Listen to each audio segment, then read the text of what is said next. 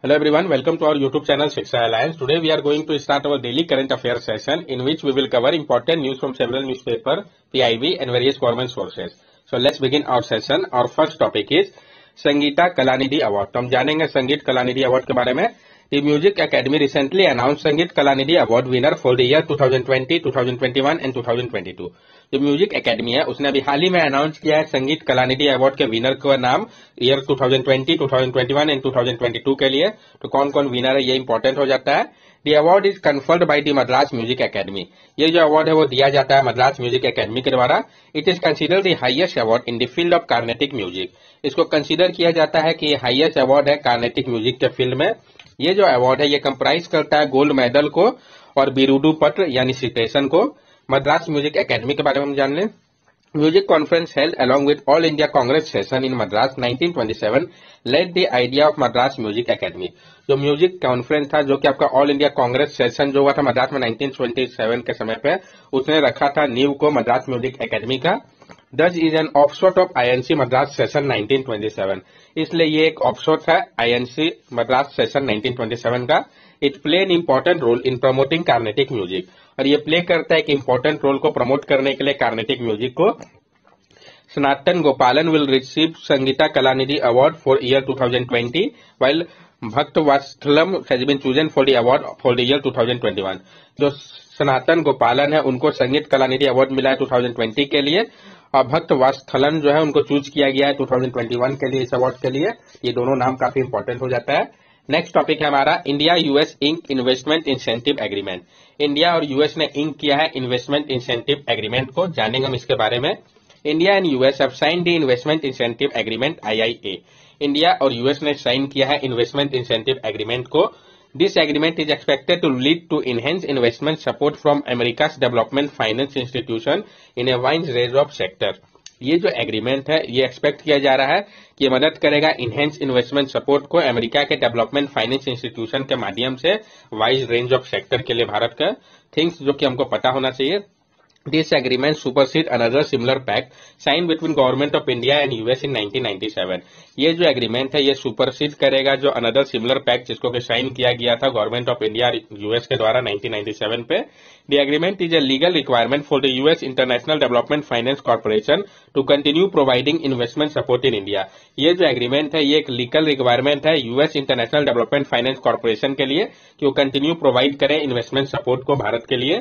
Service offered under this agreement include debt, equity investment, investment guarantee, investment insurance or reinsurance, feasibility study for potential project and grant.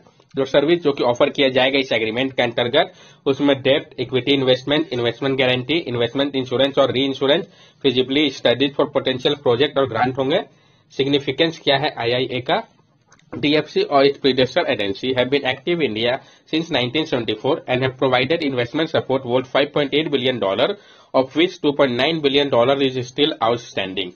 जो DFC व इसके predecessor agencies थे वो काफ़ी समय से active थे भारत में 1924 से और उन्होंने प्रोवाइड किया था इन्वेस्टमेंट सपोर्ट को 5.8 बिलियन डॉलर का जिसमें से 2.9 बिलियन डॉलर जो है वो अभी भी आउटस्टैंडिंग है It is expected that signing of the IIA would lead to enhanced investment support provided by DFC in India, which shall further help in India's development.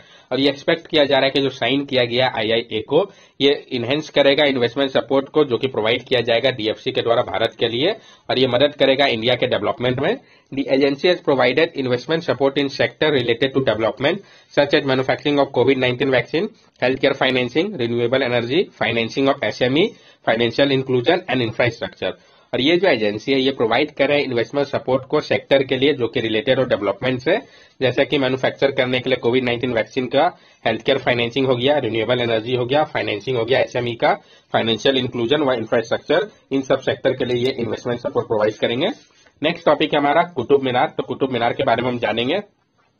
The Qutub Minar is a minaret and victory tower that form part of Qutub complex which lie at the site of Delhi oldest fortified Lal Kot founded by Tomar Rajput. जो कुतुब मीनार है, ये एक minaret है victory tower है, जो कि part है आपका कुतुब कॉम्प्लेक्स का, जो कि लाइक करता है आपके दिल्ली के ओल्डेस्ट फोर्टिफाइड सिटी के कॉम्प्लेक्स में, लाल कोट, जिसको कि फाउंड किया गया था तोमर राजपूत के द्वारा। It is a UNESCO world heritage site in the Mehrauli area of south Delhi और ये यूनेस्को वर्ल्ड हेरिटेज साइट भी है, जो कि आपका मेरोली एरिया में पड़ता है साउथ दिल्ली के। काफ़ी इंपॉर्टेंट पॉइंट है। It can be compare to the 62 metre all brick minaret of Jam in Afghanistan of 1190 which was constructed a decade or so before the probable start of the Delhi Tower. इसको compare किया जा सकता है जो 62 metre all bleak मीनारत है जाम का, अफ़गानिस्तान का 190 का, जिसको कि कंस्ट्रक्ट किया गया था एक डिकेट व उससे पहले probable start of Delhi tower के। The surface of both are elaborately decorated with inscription and geometric pattern जो सर्फेस है दोनों का, उसको एलोबरेटरी डेकोरेट किया गया है इंस्क्रिप्शन और ज्योमेट्रिक पैटर्न से। Qutub Minar has shape that is fluted with superb stalactite bracketting under the balconies at the top of each stage. Qutub Minar में शेप्ट है जो कि फ्लूटेड है सुपर स्टेलेक्टाइट ब्रैकेटिंग से बालकोनी के पास टॉप में हर एक स्टेज के। इसका कंस्ट्रक्शन के बारे में हम जान ले। Qutub Minar was built over the ruins of Lalkot the citadel of Delhi का कुतुब मीनार को बिल्ड किया गया था जो रून्स था लालकोट सिटाडल ऑफ़ दिल्का के उसके ऊपर। Qutub Minar was begun after the Quwwatul Islam mosque which was started around 1192 by Qutbuddin Aibak first ruler of Delhi sultanate Qutub Minar जो था, वो बिगन किया था, और कुतुब कुवात उल इस्लाम मॉस्क्यू जिसको स्टार्ट किया गया था 1900 1192 में कुतुबुद्दीन ऐबक के द्वारा, जो कि पहले रूलर थे दिल्ली सल्तनत के। तो पहले रूलर कौन सा दिल्ली सल्तनत के, ये भी इंपॉर्टेंट पॉइंट है। तो Qutbuddin Aibak it usually thought that the tower is named for Kutubuddin Aibak who began it. और ये यूजुअली थॉट किया गया था कि जो टावर है, उसका नाम कुतुबुद्दीन ऐबक के नाम पे रखा जाएगा, जिन्होंने इसको बिगिन किया था it is also possible that it is name after Khwaja Qutbuddin Bakhtiyar Kaki a thirteen century Sufi saint because Shamsuddin Iltutmish was the डिबोटी of his और ये भी पॉसिबल हो सकता है कि जो नेम है ख्वाजा कुतुबुद्दीन बख्तियार खाकी के नाम पर रखा गया हो, जो कि थर्टीन सेंचुरी के सूफी सेंट है, क्योंकि शमसुद्दीन इल्तुतमिश जो से, वो उसके डिवोटी थे।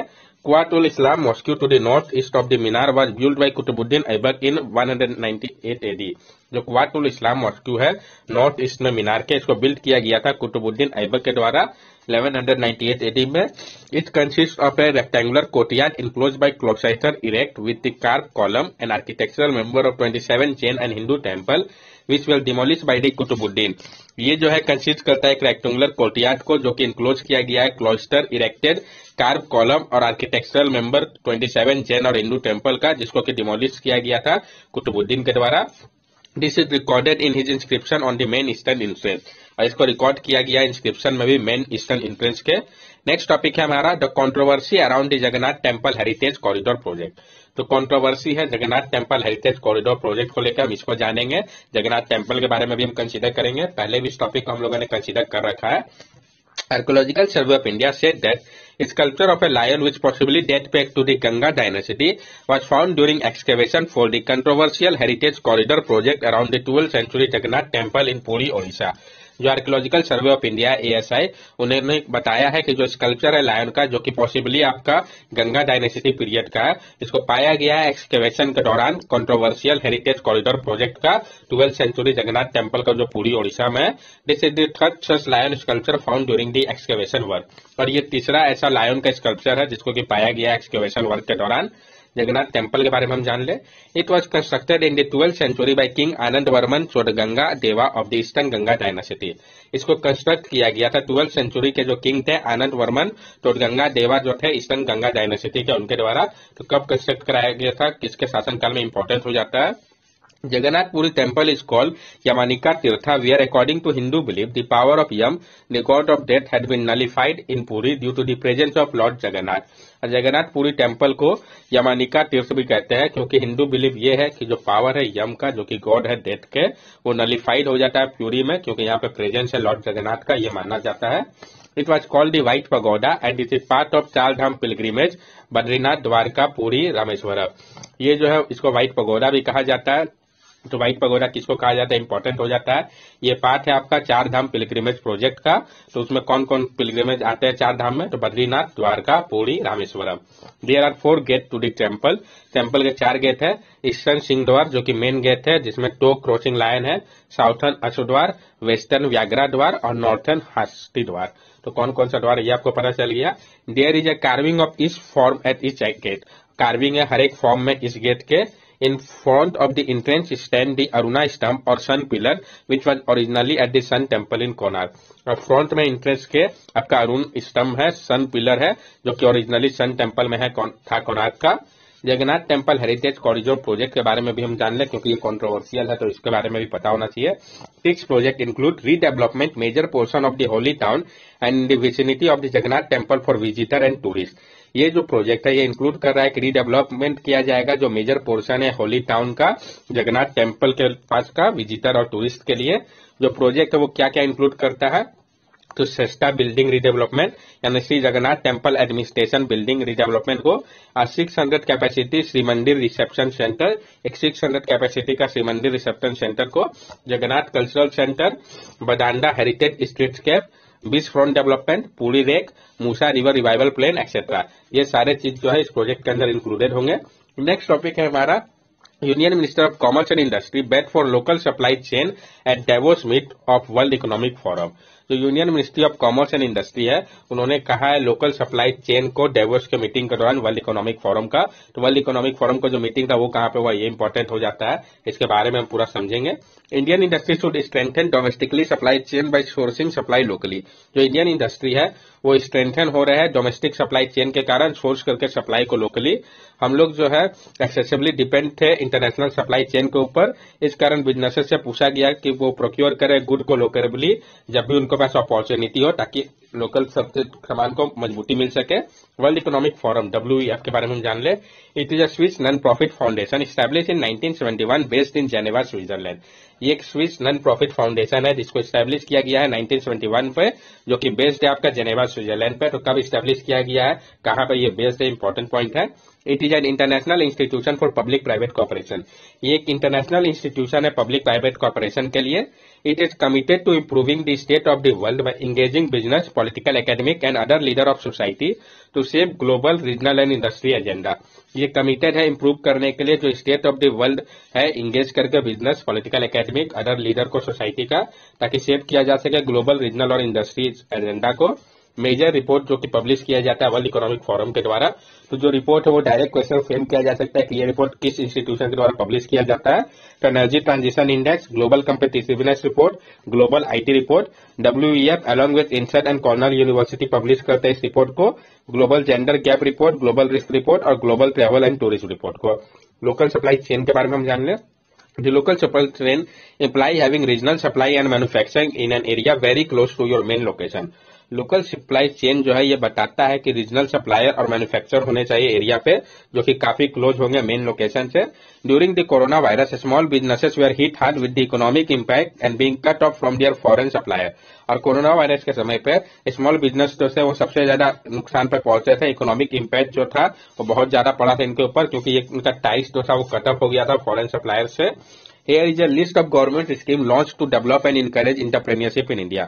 कुछ लिस्ट है गवर्नमेंट स्कीम का जिसको लॉन्च किया गया डेवलप करने के लिए इंकरेज करने के लिए इंटरप्रेन्योरशिप को भारत में। तो जो इनिशिएटिव लिया गया है गवर्नमेंट के द्वारा प्रमोट करने के लिए लोकल बिज़नेस को ये हम जान ले। तो आत्मनिर्भर भारत स्कीम हो गया, समृद्ध स्कीम हो गया startup India seed fund startup India initiative startup leadership programme aspire initiative Pradhan Mantri Mudra Yojana welcome semiconductor mentorship programme ministry of skill development and entrepreneurship Atal innovation mission e biz portal stand up India scheme ये सारे कुछ initiative है जिसको, जो कि लिया गया government के द्वारा प्रमोट किया जा सके लोकल बिज़नेस को। आत्मनिर्भर भारत के बारे में हम समझ ले। तो आत्मनिर्भर भारत अभियान सेल्फ रिलायंट इंडिया मिशन जो है, ये एक कैंपेन है जिसको लॉन्च किया गया था सेंट्रल गवर्नमेंट ऑफ़ इंडिया के द्वारा, जो कि इंक्लूड कर रहा था rupees twenty lakh crore economic stimulus package को और बहुत सारे रिफॉर्म प्रपोजल को। आत्मनिर्भर भारत अभियान जो है, उसका पाँच इंपॉर्टेंट पिलर है। तो इस पाँचों पिलर के बारे में हम जान लें तो सबसे पहले आपका इकोनॉमी ये कॉन्टेम्पलेट करता है कि जो इंक्रीमेंटल चेंज है क्वेंटअप लिप को लेके, हम कन्वर्ट करें करंट एडवर्सिटी को एडवांटेज की ओर। इंफ्रास्ट्रक्चर इसका सेकंड पिलर है, जो कि एक इमेज है मॉडर्न इंडिया का, और इसको आइडेंटिटी भी कह सकते हैं भारत का सिस्टम जो कि ड्राइवन है ट्वेंटी फ़र्स्ट सेंचुरी टेक्नोलॉजी से, और ये जो है बेस्ड नहीं है पुराने रूल के ऊपर। डेमोक्रेसी जो कि एक वाइब्रेंट डेमोक्रेसी है, जो कि सोर्स है एनर्जी का, और ये इंडिया को सेल्फ रिलायंट बना रहा है। और डिमांड जो स्ट्रेंथ है हमारा डिमांड और सप्लाई चेन का, जो कि यूटिलाइज किया जा रहा है इंटेलिजेंटली ये पाँच इंपॉर्टेंट पिलर है आत्मनिर्भर भारत अभियान के। नेक्स्ट टॉपिक है हमारा प्रवेक फ़ील्ड पैक तो हम जानेंगे प्रवेक फ़ील्ड पैक के बारे में। A Bangalore-based venture has produced a rugged tactical battery that is now planning to sell to the North Atlantic Treaty Organization forces in Europe. जो एक बेंगलुरु बेस्ड वेंचर है, उन्होंने बनाया है एक रग टैक्टिकल बैटरी को, और अब वो तैयार है कि वो सेल करेंगे इसको नेटो फोर्सेस को यूरोप में। तो ये जो बैटरी है, उसके बारे में हम जान लें प्रेवेक फिल पैक के बारे में। ये एक हैवी ड्यूटी पावर बैंक है जो कि पोर्टेबल है, इसका वेट 14 किलोग्राम है। It is of great utility to the digitally connected modern military and special forces personnel who have to operate in risk zone while using gadget that require constant power backup और ये काफ़ी ज़्यादा important हो जाता है digitally connected modern military और special force personnel के लिए, जिनको ऑपरेट करना पड़ता है हाई रिस्क जोन पर, जहाँ पर जो गैजेट है, उनको कॉन्स्टेंट पावर बैकअप की आवश्यकता होती है। ये जो बैटरी है, इनको इस तरीके से डिज़ाइन इंजीनियर किया गया है, जो कि भारत में किया गया है। ये जो फिल पैक है, वो यूज़ किया जा सकता है चार्ज करने के लिए मैकबुक को 60 टाइम तक, ये कैपेसिटी आप सोच लीजिए कि 60 मैकबुक को टच कर सकता है। सिग्निफिकेंस क्या है प्रवेक का? This supply makes a major shift in defence landscape of India a tipping point of this reversal of India high technology defence industry from user of developer from importer to exporter ये जो supply है, ये एक major shift लाएगा defence landscape के लिए भारत का। एक टिपिंग पॉइंट जो है, जो रिवर्स हो रहा है इंडिया का हाई टेक्नोलॉजी डिफेंस इंडस्ट्री पहले डेवलपर से इंपोर्टर इंपोर्टर से अब हम एक्सपोर्टर बन गए, जो फ़ील्ड पैक है वो एनर्जाइज करेंगे मिलिट्री पर्सन को फ़ील्ड ड्यूटी के दौरान, और इसका उपयोग किया जा सकेगा डिप्लॉय करने में रिमोट सेंसर को, जो पावरफुल टेक्टिकल बैटरी है, उसका उपयोग किया जा सकेगा ऑपरेट करने के लिए लार्ज मिलिट्री इक्विपमेंट को, जैसे कि ड्रोन हो गया, और ये मदद करेगा कोऑर्डिनेट करने में टेक्टिकल ऑपरेशन के दौरान, जो कि इन्वॉल्व करता है मल्टीपल वेपन सिस्टम को, यानी काफ़ी ज़्यादा बेनिफिशियल हो गया। That's all for daily current affair session अगर आपको हमारी वीडियो अच्छी लगी हो तो हमारे चैनल सब्सक्राइब करें, हमारे वीडियो को लाइक करें और ज़्यादा से ज़्यादा शेयर करें। This are our social media link from here also you can stay connected with us and give us your valuable feedback. Thank you and have a nice day.